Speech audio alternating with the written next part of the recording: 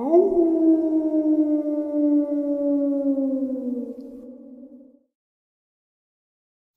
Well, greetings and salutations, everyone. I hope everyone is still doing well, and welcome to tonight's second half.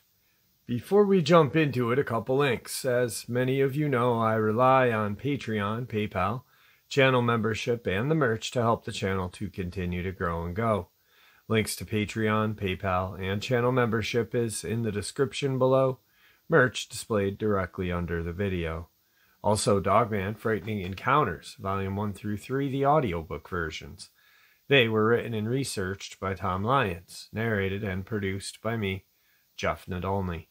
Those audiobooks are available on Audible, Amazon, and iTunes, links to which are also in the description as well. And finally, last but definitely not least, if you'd really like to help support the channel to continue to grow and go, simply subscribe. It does not cost a cent click that like button. Takes half a second. If you don't want to miss out on any of the informative uploads I put out daily, click that bell icon. And folks, please leave a comment. Why? Well, because all of these things really do help the channel to continue to grow and go. And yes, folks, they definitely do matter. Now, everyone, I have taken far too much of your time. Let's jump into tonight's second half, shall we? Today's first terrifying experience. I figure that sharing this experience may make someone else vigilant with their own loved ones while in the woods. I'm going to be extremely detailed as I know there are many people who are very well versed in investigations and in research pertaining to this subject, and details do matter. The location of this experience is in Washington State, in Mount Baker, Snoqualmie National Forest just outside of Greenwater, Washington.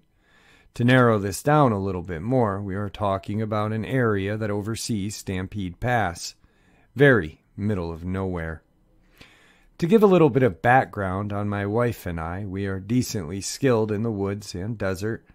We are one of those weird couples that use our PTO driving around the country, overland camping in terrible conditions, before a three day party in Vegas and drive home. We've been lost in the woods, broken down in the woods, had negative interactions with bear, had a female cougar hang out in our campsite during mating season. YouTube what that sounds like. It's pretty crazy. Moral of the story is we are confident and experienced with no help. The freedom of all of this all is something we really enjoy. My wife is a dental assistant raised by her mother, who is a saleswoman, and a father who is an aircraft mechanic. Prior to our relationship, she had little to no experience in the woods, but that changed pretty quickly once we started seeing each other. At the time of this experience, she had gained a lot of experience in the woods. I was raised by a Vietnam combat veteran turned drill instructor, turned 37 year street cop, and firearms instructor. I grew up on the range. Following high school and a couple of nowhere jobs, I ended up becoming an armored car guard, which is a job that I have and had for 11 years now. With my dad being a hardcore outdoorsman, naturally, I followed suit. This is a weird detail to include, but it will make sense later. My wife and I are avid dog people. We absolutely love our dogs. They are one of the most important things in our lives. When our last dog had a medical incident, we were the people on the floor giving doggy CPR. If something happened to my wife or I, there would be a response, but you heard our dog, John Wick, becomes a documentary. The time frame of this experience was about three summers ago, mid June, on a quick one night camping trip that spanned approximately 18 hours. We arrived at our campsite in mid to late afternoon. We tried to make it to a campsite that we knew and wanted to visit, but unfortunately there was still too much snow on the ground at that elevation, and as we only had one vehicle, we couldn't safely make it there. One detail that I want to include is how difficult it is to make it to this campsite. We had been exploring for quite some time after we realized we couldn't make it to our intended destination. The road leading up to this campsite is extremely steep. I remember making the comment to my wife that I hope that I don't have to back down, so we may not make it. Our rig is pretty built with all the aftermarket things you'd expect skid plates, bumpers, tires, suspension, snorkels. It took some very legitimate technical driving to get there. It appeared that the campsite had not been used for some time, probably a couple of years, no garbage, very dusty on the edge of a cliff overlooking a valley. One thing that made this campsite unique was that it was in an area that had been burned out in the previous year's fire. So, where you may be used to seeing the green forest of the Pacific Northwest, this had a little bit more of that ominous feel as all of the trees were basically burnt out black sticks sticking out of the ground. The weather on this day was practically beautiful. Very warm, upper 70s, and no wind. One thing that stuck out to me immediately upon exiting the Xterra was just how quiet it was. The normal sounds of the woods just were not there. If you have tinnitus, you will know what I mean when I say it's one of those places where it's so quiet that you almost instantly tinnitus will kick in. Setting up camp was pretty much business as usual. After setting up our ARB awning and the awning room, my wife quickly went sunbathing. I pretty quickly went into my normal routine of using the opportunity of being in the woods to run range drills. After a couple of hours, it did start to cool down a little bit. I went through the process of getting a fire prepped so later I wouldn't have to do it in the dark. I remember specifically that it was when I was picking up my brass from running drills that I started to just get a little cold. I'd been wearing shorts and a tank top and body armor all afternoon, so I headed into the awning room to change into some pants. I remember sitting down on my cot and thinking that I heard a dog bark. I stopped what I was doing and waited for a second, and as clear as day I could hear a dog barking. The sound of the dog barking was extremely clear. This wasn't anywhere near the sound of some other animal in the woods. This is what you would expect to hear in your home neighborhood. This is what you would expect to hear from your neighbor's dog two houses over. Outside of the tent, I hear my wife say, Is that a dog? I had responded back by saying, Do you see anyone? She had responded back saying, No, but it sounds like it's coming from over there. As I poked my head out of the tent, she's pointing in the direction of where I had been shooting, which was essentially into an overgrown area past a berm that I had been using as a backstop. Interestingly enough, the barking stopped. I finished getting myself situated and exited the tent and walked toward the area that the barking had been coming from. I found nothing there, no evidence of any kind of animal, and furthermore, no evidence of what typically comes with a dog, a person. To be clear, the area that this barking was coming from is not an area that somebody could reach with a vehicle. There also is no alternate route they could have taken to allow somebody to drive around and approach us from the opposite side. We had taken the only road to get there and drove it until it ended. Nothing else is even close. We discussed the possibility that maybe it was a lost dog, maybe someone had driven out here and abandoned a dog. And so we essentially went into a three to five minute session of trying to call in this dog. My wife begged for us to go and look for it. I said no. There was basically no response. It went back to being just as quiet as when we had gotten there. I don't want to say that either of us were really upset or unsettled at this point, but we were definitely feeling a little bit more heightened sense of vigilance as what was going on around us. As I said before, where there's dogs, there's people. And there really shouldn't be any people out here. We had negative experiences with people in the woods before, so naturally, any time that we may run into people in unusual circumstances, we are very careful. We continued the evening as we normally did, drinking a couple of white claws, getting a fire started, playing the music that we used to listen to as teenagers, and cooking up some dinner. At this point, it's getting to be around 7 p.m. I had returned back to the tent to grab a hoodie because the temperature is dropping a little bit more, but it was still relatively warm for the altitude. Within three to five seconds of me entering the tent, the barking started again. When I heard it, I froze and listened, and it was coming from the same direction that my wife had pointed out before. Before I could even poke my head back out of the tent, my wife said out loud, Why, it only happens when you go into the tent. She's a lot smarter than me. To be completely honest, I kind of dismissed her statement intentionally and went back out and sat next to her by the fire, and the evening continued. After a couple of minutes had passed, I returned to the tent again. Within a few seconds of me entering the tent, the barking started. Remember still that this is the sound of your neighbor's dog. When I exited the tent, the barking stopped, just as it had before. At this point, my wife and I shared one of those very brief moments where you lock eyes with somebody and without saying anything, you know something's wrong. It's so difficult to describe the moment, but you just knew something was wrong. I remember turning into the tent and starting to put on all of my gear that I was using when I was running drills. We had wildlife encounters before. This was different. Something felt extremely wrong with what was happening. I put my plate carrier and my weapon and started the process of loading the magazines that I had emptied out while running drills. One thing that I remember as being practically unique was that my wife came into the tent with me and helped me start loading magazines. This is very unusual, as she is somebody who is always pretty and has her nails done and absolutely hates loading magazines. So, looking back on this, I think that this really speaks to how creepy the situation we had found ourselves in. That she would ditch the nice spot by the fire to get into the tent and load mags. I remember when we exited the tent, both my wife and I commented on how it seemed like it had gotten extremely cold very fast and very early.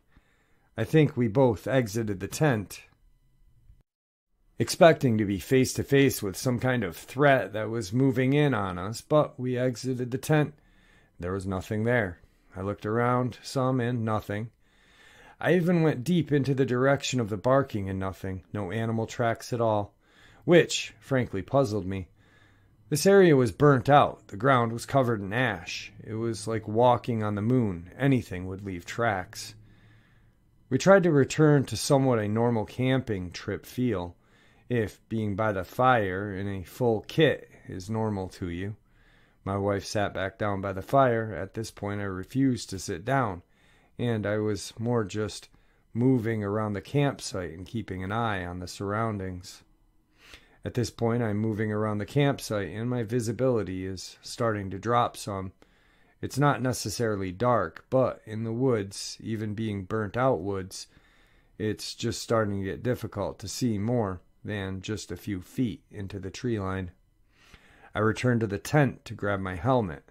With PVS 31S, leave me alone, I like my freedom. And as I walk to the tent, I make the comment to my wife that I swear to God if I hear that barking again, I go into the tent barking. Now I'm mad and scared, honestly. We started to touch on something that is so unusual in the woods that it's difficult to explain to yourself. Going back to our short planning before this camping trip, one of the reasons that we decided to take this quick camping trip was because it was just going to be a nice, easy trip. There was absolutely no adverse weather anywhere on the forecast in days before, during, or after when we were taking this trip. In a time of less than 30 minutes from this, this beautiful evening with not a cloud in the sky changed into somewhat a weather nightmare. The winds picked up to the point that I actually had to use a tie down strap that I normally never used, even in serious storms. And a heavy fog blew in, which was extremely weird for this altitude in June. I'll never forget thinking to myself that with this fog and the wind, the fog should blow through within a few minutes. But the wind continued to blow and the fog just wouldn't break. We were talking 25 feet of visibility tops. I couldn't see crap through my noodles, and they kept getting fogged out from all of the moisture. It almost made you dizzy because you could see the fog blowing by, and no matter what direction you looked, and everything was in motion. And it was so cold. Suffice to say, at this point, we called it. Time to go to bed. Naturally, I don't think that either of us really slept. I won't lie and tell you that we heard nothing. It was actually just dead quiet once the wind stopped, about an hour after we had gone into the tent. Usually we sleep in when we go camping, but this was a little bit of a different experience. We ended up basically crawling out at first light. Once we got up, I pretty quickly surveyed the area. It looked like it was going to be another beautiful day, very sunny. So we started our normal morning camping routine. We cooked up some eggs, some bacon, and we were in the process of cooking what we had left of the bacon when my wife said, Uh, people. I turned from where we were to the passenger side of the Xterra and looked through the windows, and coming up the road were four people walking up the road to our campsite, two on the left and two on the right, in somewhat a staggered pattern, and at least one of the males was taking pictures of the campsite. If you're not somebody that goes to the woods, FYI, this is extremely unusual. Walking into somebody's campsite is like walking into their home. So naturally, when I look down the road and I see four people essentially in a small unit formation moving into my campsite, that's a problem. I walked around my vehicle to meet them, and when I said good morning, all four of them jumped like they weren't expecting people to be there. It was two males and two females, and they basically took a second to look at each other like they weren't sure who should be the one to speak up for whatever was going on.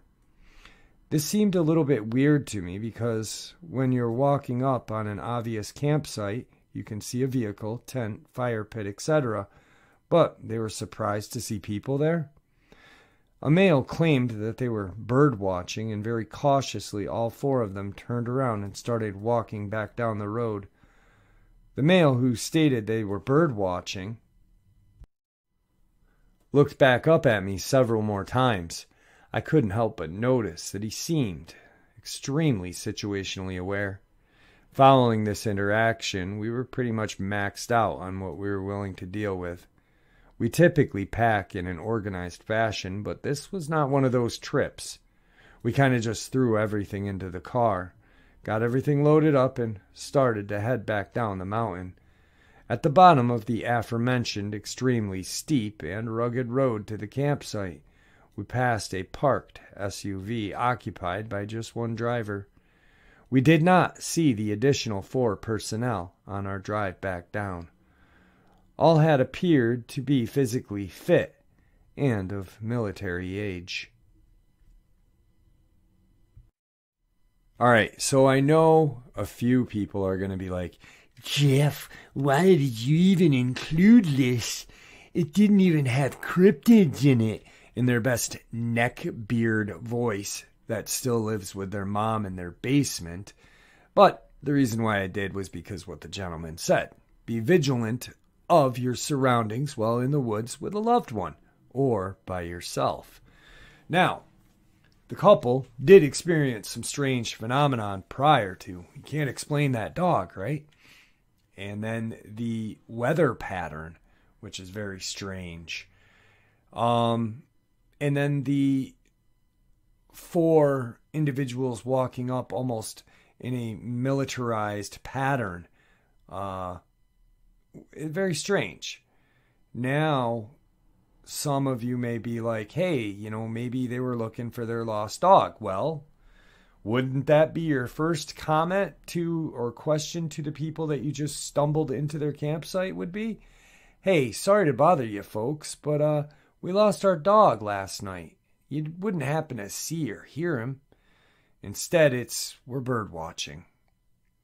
Now, possibly this is just a possibility. This couple stumbled upon a underground military military installation and these four or five counting the one in the car below were sent up to kind of, you know, uh, visualize the situation. Um, maybe there was some sort of uh, weather disruption uh, machine up on this mountain. Who knows? I don't know. Um, it it it makes a little sense to me. Maybe these people were some sort of security team and making sure that this little military military installation underground that uh, possibly could be funded by the Air Force. Maybe it was a HAARP involvement. Um, yeah, who knows? Uh, supposedly, the uh, HAARP program uh, was supposedly stopped, I believe, in 14 or 15. Um, this would have occurred back in like 2018. So maybe it's not stopped. Maybe they stumbled upon something that they weren't. Uh, and that's what this little team was about. But the most key important thing is why I shared this was because it really shows you that you have to be vigilant. You have to be aware of what is around you while you're in the woods. When you're in nature, you can't take it for granted. You you do have to have your neck on a swivel. Um, it doesn't necessarily mean that you can't enjoy the outdoors, but when you are enjoying the outdoors, you should always kind of, you know, just be aware of everything, you know. I almost said situationally aware, which is another kind of military military uh, statement, and that was what the gentleman felt from the guy who kept looking back at him. So, I mean, something's up. I believe these people stumbled upon a underground facility. So, moving on. Today's second experience. All right, I'm 43 years old, and this took place near Deadwood, South Dakota, in the Black Hills when I was in fifth grade. I'm pretty sure it was during the summer months between my fifth and sixth grade years in school. So, quick math says I was 10, maybe 11. My birthday is in July. Anyway, that matters because at that age I was old enough to be aware of my surroundings and to know the difference between imaginary and real friends.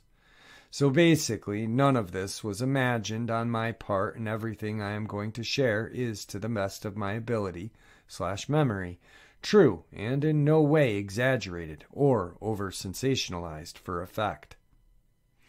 We lived in a small town of Lead, South Dakota, which is about two miles further up the hill from Deadwood, South Dakota. The same Deadwood that Wild Bill Hickok was killed in, and the same Deadwood that they made a TV series after of the same name. The area, geographically speaking, is strikingly different from the rest of its surroundings that consist of Wyoming, flat and empty. To the left and the plains and badlands, flat and empty, to the right. The Black Hills are actually really pretty, and for an area that you could easily cover on a map with your thumb, they're surprisingly dense and rugged. I can't imagine living there way back in the olden days. One winter, this bit is not at all relevant to my experience. Just a cool memory from living there. I remember it had snowed over eight feet in only two days. Eight feet. That's as tall as a door frame in your home.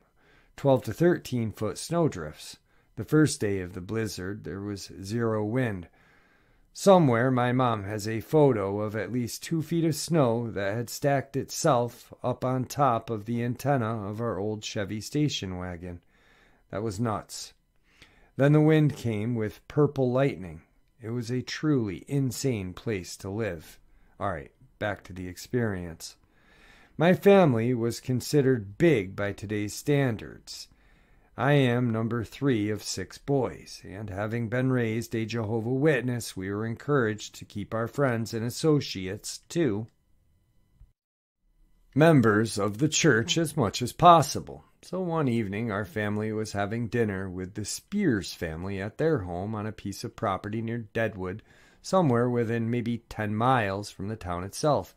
Unfortunately, I can't recall the exact location of their property, but I do recall nearby there were some old, rusty, no longer used train tracks that went through a short tunnel that I remember was a blast to have Roman candle fireworks fighting in. This takes place in the span of about five minutes total, maybe less. But that evening it was about dusk, and we had already eaten dinner, and the adults were in the house getting dessert ready or doing whatever. And it was myself, my older brother Jason, and two of their kids, both boys, and we were all within a few years of age. We were out messing around a couple of hundred yards away from the barn that their family was setting up on their property. That was still under construction, but almost finished. It had exterior windows, unsure if it was actually windows had been installed or not, but it had been a big barn door and everything. I recall we were climbing around up in the rafters of the structures, and someone on the ground level commented about a horrible stench. And within a few moments, this smell caught up with me, who was still making their way down from the rafters of the barn. I can't describe the smell, so I will attempt to describe what it smelled like. Things that smell really bad I mean really, really bad, cause the human body to involuntary gag or throw up. This isn't something you can even have time to try and stop. It's a reflex made of everything horrible in nature. The smell hits you and is interpreted by your brain, and before you can exhale, your body is trying to turn itself inside out. And that's what mine did. I clearly remember I was getting ready to hop down onto the ladder and I smelled it and instantly vomited freshly eaten spaghetti all the way down my front of my shirt and shorts. It's easily could have been a pie eating contest scene from the movie Stand By Me. Right about then, we heard something outside that I had never heard before and haven't heard since. It was a big sound you know the sound of an elephant or a howler monkey or the lions make at the zoo. This was no different. It shook the earth. You could hear it, but you could also feel it inside your body.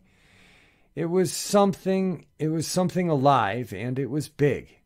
Right about then I was motionless, as we were all staring at each other wide eyed, and while I was standing up in the rafters, the entire friggin' structure creaked and groaned as the exterior wall was pushed on from my left to the right. It was violent enough that I had to quickly kneel down and grasp the wooden beam I was standing on to keep from falling down to the ground. I probably moved six to eight inches literally sideways. That's a lot of movement for a single story structure attached to a foundation to move. The dog was going ape crazy. Its fur was standing straight up on its back, and it was in a defensive posture, holding its ground, looking directly at the place on the broad side of the barn that the sound had come from and the movement originated from, with the big barn door behind it. I hopped down onto the ground and had one of those moments of clarity. Thoughts. Is this about to come through the wall? As my brother and the two boys we were with started scrambling to find something, anything to defend ourselves with. I think I ended up holding a rusty pair of garden shears or something. I recall the dog, a nice sized German shepherd, turned toward the door and ran out and rounded the corner in a very offensive attack posture, and it was obvious it was going out to protect its humans or die trying. I'm in my mind 40, and I had never witnessed that kind of split second bravery, even in a human.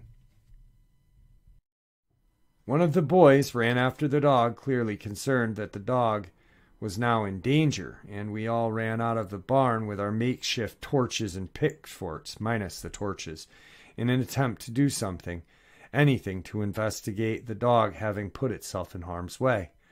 Right behind the barn there were bushes, and this hill started up pretty steep, like 45 degree angle. It was steep enough to climb up, but steep enough that it would have been a pain in the ass. It was literally overgrown with brush, trees, and all that other stuff. We rounded the corner of the barn, and all we see is this very dark figure that resembles a 10 foot tall football player. And if its uniform and helmet was a dark colored ghillie suit.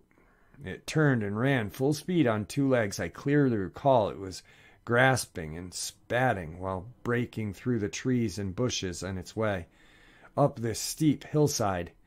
It was like a cartoon. Dark figure runs up the hill as bushes and trees rustle and break.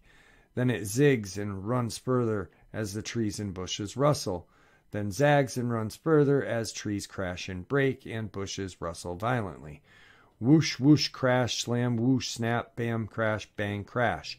It was up and over this incline in maybe 10 seconds. This was a mountain and it ran up faster than I've ever seen anything run ever. It sprinted up an incline steeper than the laws of physics would allow you to drive a vehicle and completely overgrown with thick brush and trees. The entire encounter, this thing was screaming louder than I could if I were to curl my lips, and below as loud as I could right now.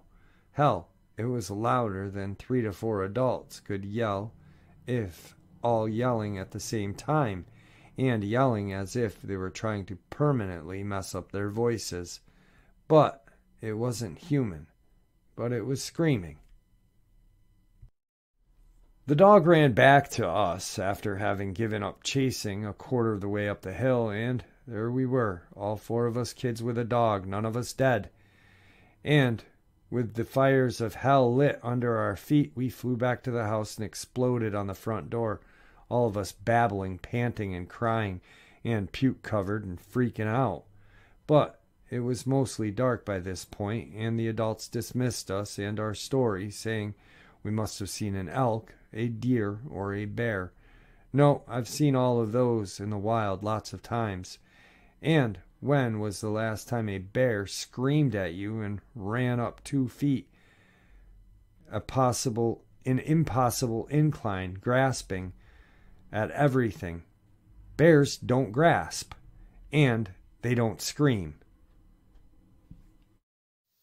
Well, there you have it, folks. Tonight's second half. I hope you all enjoyed it as much as I enjoyed sharing it with you.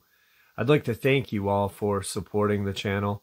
It is, after all, your support that keeps the channel growing and going, and honestly, what gives folks like us a place and a chance to share our experiences and theories judgment free, just simply treated with the respect that we all deserve. Everyone, please stay safe, happy, healthy, and ever vigilant. Keeping an eye on our children, pets, family, and friends. These creatures are real. They are out there and dangerous. Share this information with the people you love and care about, and it may just help save their lives someday. Until next time, never stop asking questions, never stop searching for the truth, and God bless.